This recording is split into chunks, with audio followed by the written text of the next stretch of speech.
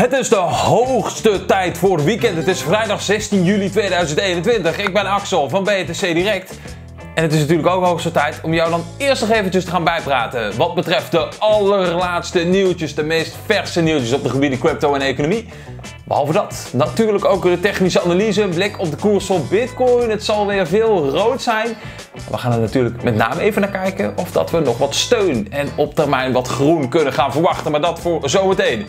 Eerst dat allerlaatste nieuws met daarin vandaag de wereldwijde plannen voor een wereldwijd belastingtarief. Ierland blijft in de weg zitten. Ripple mag een oud-medewerker van de SEC gaan ondervragen, gaan gebruiken als getuige. Belangrijke overwinning weer voor ze. Binance stopt nu alweer met het aanbieden van de aandelen tokens, waar ze juist recent mee zijn gestart. Bitcoin-wet van Paraguay is inhoudelijk meer van bekend, valt misschien toch een klein beetje tegen. En Square gaat heel actief bijdragen aan nieuwe ontwikkelingen, met name wat betreft DeFi op Bitcoin. Maar voor we het daarover gaan hebben, eerst toch iets anders belangrijks. Namelijk die Bitcoin-wet in Paraguay. Was best wel veel hype omheen, met name uit de community van zou het een tweede El Salvador worden die het echt als betaalmiddel gaan omarmen in het land naast het huidige fiat-systeem. Nou, zover is het in ieder geval nog niet, kan ik je alvast verklappen. Want afgelopen woensdag, toen werd die Bitcoin-wet dus meer inhoudelijk naar buiten gebracht. Die werd gepresenteerd in Paraguay. Nogmaals, de verwachtingen waren hoog gespannen, maar er zijn toch wel echt een aantal belangrijke verschillen. Hoe ziet het er eigenlijk inhoudelijk uit dan? Nou, met dit wetvoorstel wordt aan de Paraguaanse wetgever in principe gevraagd om in eerste instantie de mining sector in dat land meer te gaan reguleren. Daarnaast vragen ze om extra bescherming voor alle investeerders, consumenten en investerende partijen. En dan ten aanzien van die Bitcoin-bedrijven met name. Bitcoin wordt in artikel 3 van dit wetvoorstel, dat is wel een belangrijke stap, erkend als bezit. En daarmee mag het dus officieel worden gekocht, officieel worden verkocht en ook bezwaard worden met bijvoorbeeld het pandrecht. Dus dat is een soort vooruitgang die we binnen dit hele uh, wetsvoorstel in ieder geval gaan zien. Maar ja, helaas wordt Bitcoin dus nog steeds niet erkend als wettig betaalmiddel, waar we toch stiekem op hoopten. Uh, dat was natuurlijk iets wat in El Salvador kort daarvoor was gebeurd. Daarna kwam deze aankondiging, lag dus heel erg in de lijn der verwachting. Maar als we naar artikel 14 gaan kijken van dit wetvoorstel, dan gaan we daar heel concreet terugvinden dat het zover nog niet is. Daar wordt namelijk in beschreven dat zowel brokers als exchanges in dat land hun klanten actief moeten gaan informeren over het volgende feit: dat Bitcoin nog geen wettig betaalmiddel is in het land en dat het ook niet als zodanig wordt erkend op dit moment door de centrale bank van Paraguay. Dat is dus één. Aan de andere kant hadden we nog de regulering van de mining sector. Dat wordt verder beschreven in artikel 5. Daarin staat dat miners een licentie nodig gaan hebben om nog legaal te mogen gaan minen in Paraguay. Artikel 10 vervolgens, dat borduurt daar een beetje op voort, legt uit dat er in de eerste plaats toestemming nodig is om de elektriciteit te mogen gaan gebruiken voor mining. Als die toestemming er is, dan kunnen ze dus eh, een aanvraag gaan indienen voor de licentie vanuit de overheid. Dus dat wordt wel een stukje moeilijker, ingewikkelder. Aan de andere kant kun je natuurlijk ook zeggen, het wordt in ieder geval gereguleerd, geeft ook een duidelijk kader voor bedrijven waar ze aan moeten voldoen en hoe dat ze daar wel legaal in kunnen gaan meedraaien. Maar goed, er zijn natuurlijk verschillende zienswijzen hierop. Tegelijkertijd hebben we ook nog die extra bescherming die moet gaan worden ingebouwd voor zowel de consument als een potentiële investeerder. Dat gaat er als volgt uitzien. Binnen dat wetsvoorstel is het namelijk niet langer toegestaan voor bewaarpartijen, dus bijvoorbeeld een exchange of een broker, Terwijl gewoon voor bitcoin bedrijven om coins van klanten, logisch zou je zeggen, zonder hun toestemming verder uit te lenen, te verkopen of als onderpand in te zetten. Nou ja, logisch, dat verkopen stukje is natuurlijk logisch. Dat uitlenen aan de andere kant is niet per se logisch dat dat niet mag. Nou, dat wordt dus allemaal dichtgetimmerd. is prima. Met name extra bescherming dus voor die consument. Dat er aan de achterkant niks geks mee kan gaan gebeuren. Maar al met al, zei ik het al, de resultaten vallen misschien dus wel een beetje tegen. Mede dankzij de ontzettende gehypte aankondiging van de voor dit wetsvoorstel verantwoordelijke politicus. Die uh, luidde namelijk als volgt. Die had de grote woorden. We gaan Paraguay, uh, Paraguay uniten. Daarom gaan we dus samen een grote wet voorstellen in het kader van Bitcoin voor het land. En stay tuned, want het zal een mega surprise worden voor Paraguay and the world. Something giant is coming. Nou, dat valt tot nu toe dus toch wel heel erg mee. Nu wel meteen weer over naar de grootste exchange ter wereld. Natuurlijk Binance waar ik het over heb. Want die stoppen nu dus alweer met het aanbieden van hun aandelen tokens. Waar ze vrij recent juist nog mee waren begonnen. Het ook hadden uitgebreid met extra aandelen waarvoor dat kon. Het kon niet op, maar toch wel. Ze stoppen er dus nu alweer mee. Je zou kunnen zeggen, misschien wordt het ze toch wel te heet onder de voeten. Ze hebben dat vandaag dus aangekondigd dat ze hier echt een streep onder gaan zetten. Commerciële focus, zeggen zij, die gaat namelijk op andere producten worden toegelegd. Dat is de officiële reden die ze hiervoor geven. Maar ja, dat is best wel opvallend, want behalve dat het nog een heel nieuw product is, is het ook een heel erg populair product. Het wordt grootschalig gebruikt, wordt grootschalig ingezet. Uh, het is een belangrijke tak geworden, inmiddels zou je kunnen zeggen, van dit platform. Maar ja, ze gaan er dus echt per direct mee stoppen. Met het kopen in ieder geval. Dat kan nu dus al niet meer. Dat hebben ze meteen dichtgegooid. Heb je nou dergelijke tokens daar nog op het platform staan? Geen paniek, want tot en met 14 oktober uh, kan je daar nog gewoon van af. Je kunt er dan nog uh, verkopen, je kunt het nog handelen tot aan die tijd. Dat is helemaal aan jezelf. Maar tot die tijd kan dat nog. Nu is het kopen in ieder geval stopgezet. Komt er eigenlijk op neer, kort gezegd, als users hebben nog drie maanden de tijd om ermee te doen wat ze willen. Na 14 oktober hebben ze dat niet meer zelf in de hand.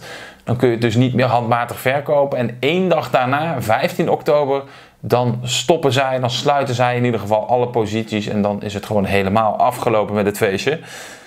Ja, eh, we hebben net al de officiële lezing daarvan gehoord, maar volgens nog niet bevestigde geruchten, moet ik er wel duidelijk bij zeggen, kan de oorzaak zijn dat de SFC van Hongkong heeft gezegd dat er geen enkele entiteit binnen het hele Binance-conglomeraat op dit moment de licenties of registraties of wat dan ook heeft om een dergelijk product te mogen aanbieden. En het is niet de eerste keer dat je zulke geluiden hoort. Want veel eerder al, dat was in april, toen kwamen al dergelijke geluiden vanuit bijvoorbeeld Europese en Britse regelgevers. Dat het mogelijk helemaal niet legaal is. Dat er eigenlijk nergens aan wordt voldaan. Dat zou dus een beetje hetzelfde geluid zijn als nu uit Hongkong. En dat lijkt in dit geval dus de druppel te zijn voor Binance om hier helemaal mee te stoppen.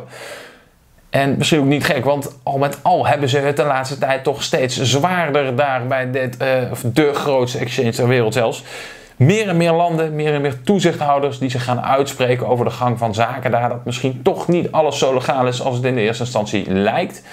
Dat ze in ieder geval een hoop zaken zouden moeten voldoen of in bezit moeten hebben die ze op dit moment niet hebben. Dus ook dit wordt weer ongetwijfeld vervolgd de komende tijd.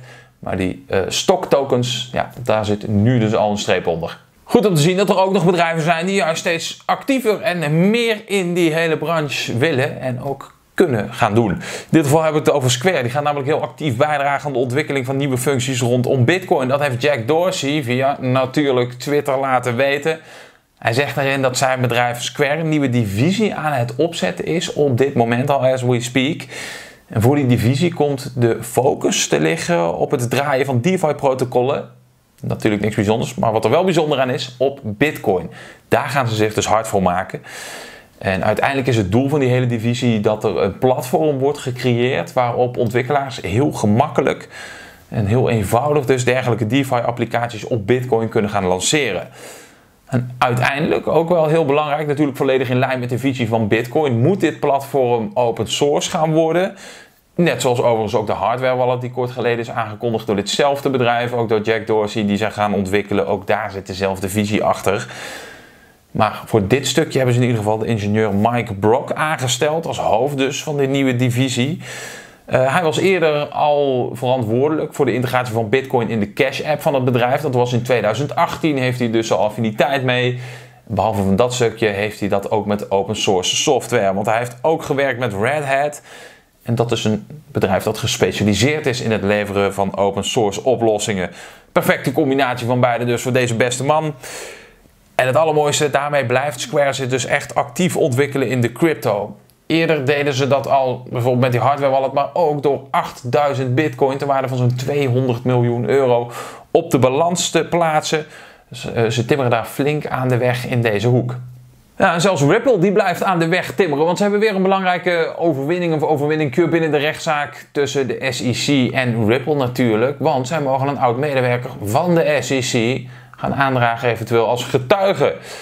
Hoe zit dat nu? Nou, rechter Sarah Netburn die heeft een verzoek gedaan door die SEC tot onderdrukking van eerdere uitspraken afgewezen. En daaruit vloeit dit dus voort. En daarmee bedoelen we in dit geval de uitspraak van William Hinman. Dat is een voormalig directeur van de SEC-divisie van Corporation Finance. Uh, want in 2018, juni 2018 was dat om specifiek te zijn. Toen zei hij namelijk in een toespraak dat Ethereum, of Ether dan zelf, de coin, maar ook de verkoop daarvan volgens hem niet onder de effectenwet vielen. Vanwege onder andere het gedecentraliseerde karakter ervan. Dat waren volgens hem, of dat was een belangrijke eigenschap waarom dat daar dus niet onder zou vallen. En de SEC wil natuurlijk maar al te graag deze uitspraak te niet doen, maar het is Ripple nu dus gelukt dit te voorkomen. En weer een stapje in de goede richting voor in ieder geval Ripple om aan de SEC te gaan bewijzen dat zij dus niet als effect moeten worden geclassificeerd. Maar het belangrijkste gevolg hiervan is dat uh, Ripple nu ook Hinman kan gaan vragen om te getuigen. En waarom dan? Over die redenering achter die uitspraken van hem, achter zijn beslissing dus om Ether niet als effect te bestempelen, of in ieder geval niet vallende onder de effectenwetgeving. Want hopen zij dat zij diezelfde beredenering, als hij die komt uitleggen en de recht zou ook kunnen gaan toepassen natuurlijk op XRP. Je voelt hem hangen natuurlijk een enorme domper voor de SEC op dit moment. Die hebben dit eerder dus aangevochten. Hebben zich ook al actief verdedigd door te stellen dat zij niet via personeel of individuele commissarissen spreekt, maar alleen via handhavingsacties. Maar Sarah Netburn was daarvan in ieder geval niet onder de indruk, want zij stelt dat dit absoluut geen alledaagse SEC-handhavingszaak betreft. En dat daarom in deze situatie helaas voor hen dus ook niet opgaat. Benieuwd of en wat er van deze getuigenis gaat komen.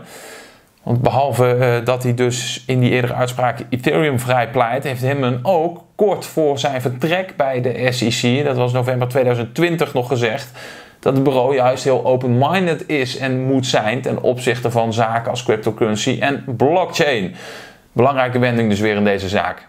De plannen voor een wereldwijd belastingtarief dat overal hetzelfde is voor bedrijven. Er wordt druk over gesproken met de hele wereld natuurlijk op dit moment. Maar er zijn een aantal landen die daar niet al te happig op zijn. En een van die landen is Ierland. Die blijft namelijk tot nog toe in ieder geval weigeren.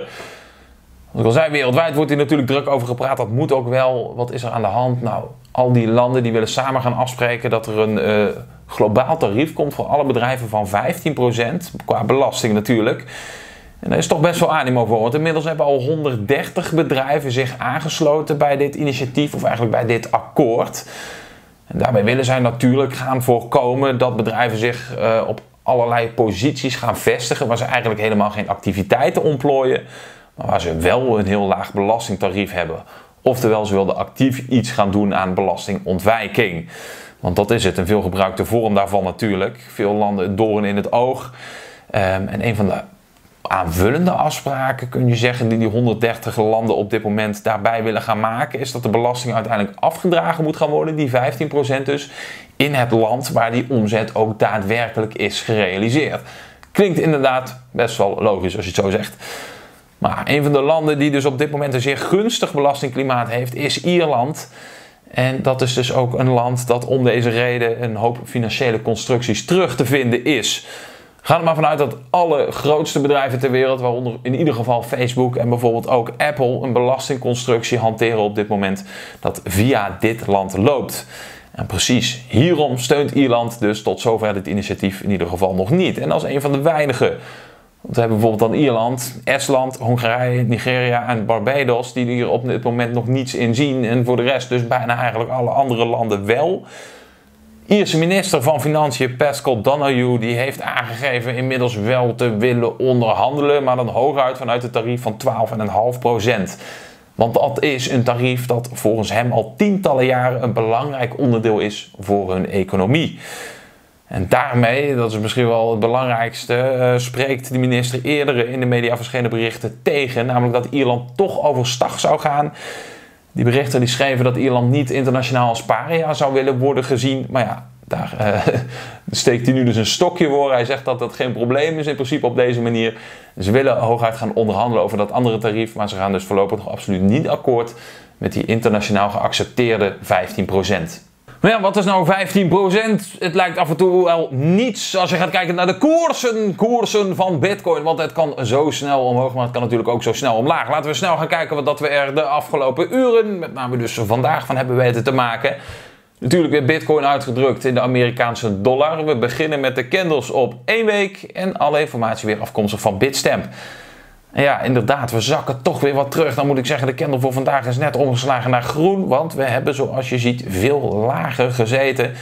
De tendens van gisteren die werd daarmee gewoon doorgezet, namelijk naar beneden toe. En dat komt er uiteindelijk op neer dat we met deze candle, zoals je ziet, het laagtepunt 31.012 dollar hebben aangetikt.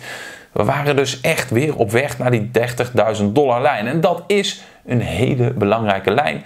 Natuurlijk omdat het een mooi rond getal is. Het is psychologisch gezien een belangrijke lijn. Maar het is ook op Fibonacci-niveau een hele belangrijke lijn. En daarom willen we die dus heel graag gaan vasthouden. Daarom is het ook vervelend om te zien dat we steeds meer die kant aan het afbuigen zijn, lijkt in ieder geval. Het is gewoon een hele belangrijke support. Wat we daarmee in ieder geval wel nog doen, is binnen deze driehoek bewegen, die we hier kunnen tekenen vanaf zo'n beetje halverwege mei, is dit natuurlijk de supportlijn. Die ligt dan ook rond die 31.000 dollar, waar dat we vandaag dus helemaal naar teruggezakt zijn. Maar met name wordt die gedefinieerd er aan de bovenkant door die dalende resistance lijn, waar dat we constant op deze uitzondering na een uitstapje naar 40.000 dollar dus ondergedrukt worden. We blijven die lijn naar beneden toe volgen. En dat is zonde. Maar goed, we komen er wel natuurlijk uiteindelijk steeds verder van in de punt terecht. Dan moet er een keer iets gaan gebeuren. Je zou ook nog kunnen zeggen, het is in lijn met die Wyckoff-beweging, namelijk hier die tweede dip. Weliswaar iets vertraagd, maar waar dat we nu dan mee te maken hebben. En vanuit daar zouden we straks dan een keer echt de power omhoog moeten gaan vinden. Dat zou natuurlijk de ideale uitwerking zijn wat betreft die Wyckoff-theorie hieroverheen. Maar even terug naar deze lijn, die 30.000 dollar. Want nou, deze is natuurlijk belangrijk, maar deze is ook heel belangrijk.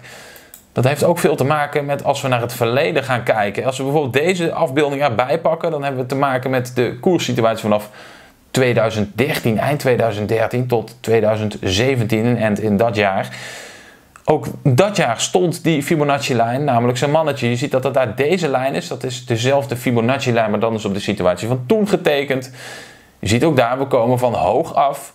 We zakken helemaal terug naar die lijn. En vanuit daar vinden we weer het momentum om echt verder te gaan groeien. Het wordt nog opvallender als we ook diezelfde lijn gaan tekenen op de situatie rondom 2013. Ook daar zie je dit weer gebeuren. Eigenlijk compleet dezelfde beweging. Hier vanaf de top naar de bodem trekken we die lijn. Dan zie je ook dat we flink omhoog schieten. We zakken helemaal terug naar diezelfde belangrijke Fibonacci-lijn. En vanuit daar weten we weer momentum omhoog te vinden hadden we natuurlijk in 2013 ook nog te maken met die dubbele top. Dus laten we gaan hopen dat we die hier straks ook één kunnen gaan vormen na een test definitief op deze Fibonacci-lijn. Vanuit daar dus weer gewoon door naar nieuwe hoogtepunten. Laten we ook nog even wat verder gaan uitzoomen als we bijvoorbeeld de 1 week candles daarbij pakken. Want wat zie je nu op het wat grotere plaatje? Het prijsbereik waar dat we nu constant ingedrukt worden, daarmee zitten we eigenlijk weer op het niveau begin dit jaar, toen waren we juist zo blij dat we daarna deze enorme bullrun boven wisten te komen, was dat een mooie support. Dat luidde de bodem, of eigenlijk het begin in van die hele grote groei omhoog naar het hoogtepunt van 60k plus. Nou, dat niveau zijn we nu wat verder op in dit jaar, in de zevende maand maar liefst. Dus eigenlijk gewoon weer op terug beland. Maar is dat erg? Ook daarvoor kunnen we weer een beetje naar het verleden gaan kijken. Je ziet daar wel in dat in ieder geval die ronde getallen wel belangrijke niveaus zijn. Die ook zomaar een hele belangrijke support kunnen gaan bieden. Als we daar nu dus maar vast weten te houden. Maar dan met name deze stijgende trendlijn weten aan te houden. Hoeft er natuurlijk niet zoveel aan de hand te zijn. Dat zou natuurlijk overeenkomen met een aantal situaties zoals de Wyckoff-theorie. Zoals de Fibonacci die hier samenkomt. Deze stijgende supportlijn die hier samenkomt allemaal omstandigheden die daaraan bij kunnen gaan dragen. Uh, laten we hopen dus in ieder geval dat we hier vanaf dit moment op misschien die test hierop gewoon lekker op kunnen gaan meeliften omhoog. En dan uiteindelijk weer naar die nieuwe hoogtepunten toe. Ja, wat voor hoogtepunten moet je dan rekening mee gaan houden, is natuurlijk een moeilijke vraag. We gaan toch proberen te beantwoorden. Als we hier weer even naar de 4 uur candles op de wat kortere termijn gaan kijken zou het natuurlijk moeten betekenen dat we eerst omhoog gaan bewegen in het bereik van deze driehoek. Dus dan hebben we het over een kleine 34.000 dollar, wat weer die belangrijke basislijn is voor het zijwaartse kanaal. Daarin terugkomen zou dus in dit geval ook betekenen een uitbraak uit deze driehoek. Vanuit daar mogelijk de Wyckoff volgen. Gewoon lekker omhoog met hier tussentijds nog een support rondom die 37,5. En dan naar die 40k, net zoals hier die weer starten. Dan hopen we dat dit uitkomt natuurlijk daar doorheen breken. Met in dit geval een positieve test aan de bovenkant van die lijn in plaats van hier aan de onderkant al afgewezen worden. En vanuit daar dan mogelijk weer nieuwe hoogtepunten. Dat is natuurlijk het bullish scenario. Ja, bearish zou zijn natuurlijk als we hier verder naar beneden gedrukt blijven worden. Die lijn uiteindelijk niet gaan vasthouden. Die Fibonacci gaan testen. En als wij die gaan verliezen, is maar de vraag of dat we nog uit kunnen gaan van die koopzone die hieronder constant aan de orde is geweest. Anders kom je zeker als je gaat kijken naar de grootte van de opening van die driehoek. Als je die hiervan af gaat trekken weer in een gebied richting de 20.000 dollar uit. Dan zouden we dus weer tussen de 20 en 30.000 dollar zitten. Met nogmaals de enige grote support, of hele grote support dan weliswaar, maar rond de 24.000. Dus dan kan het natuurlijk hard gaan. Hopen dat dat voorlopig niet gaat gebeuren. Maar het is natuurlijk vrijdag, dus des te meer reden om dat positieve scenario gewoon in je achterhoofd te houden en vanuit daar lekker relaxed dit weekend tegemoet te gaan. Gooi die beentjes straks omhoog, pak er een lekker koud drankje bij en ga er ontzettend van genieten. En om het nog mooier te maken, om je weekend helemaal af te maken, ben ik er morgen natuurlijk ook gewoon voor je. Zaterdag, dan gaan we samen weer terugkijken naar de afgelopen week. Wat is er allemaal gebeurd met de grootste, belangrijkste crypto's en ook daarbuiten met de belangrijkste economische indicatoren. Maar dat natuurlijk allemaal voor morgen. Geniet van vanavond, subscribe jezelf. Steun wie er weer gaat op dit kanaal als je dat nog niet hebt gedaan. En een duimpje omhoog is altijd heel erg prettig, mocht je dit een leuke video vinden natuurlijk. In ieder geval, geniet van vanavond. Spreek je morgen gewoon weer hier. Dus tot dan. Doeg!